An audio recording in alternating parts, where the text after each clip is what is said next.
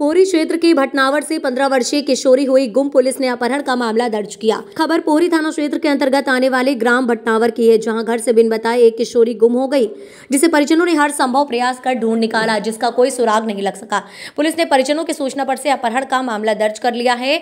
घटनाक्रम के जानकारी के अनुसार फरियादी पिता ने थाना पहुंचकर बताया कि उसकी पंद्रह वर्षीय किशोरी घर से बिन बताए कहीं गुम हो गई है, जिसे हर संभव प्रयास कर ढूंढा लेकिन उसका कहीं कोई सुराग नहीं लग सका। फरियादी परिजनों के सूचना पर से पुलिस ने अपहरण का मामला दर्ज कर लिया। संवाददाता धर्मेंद्र शर्मा की रिपोर्ट।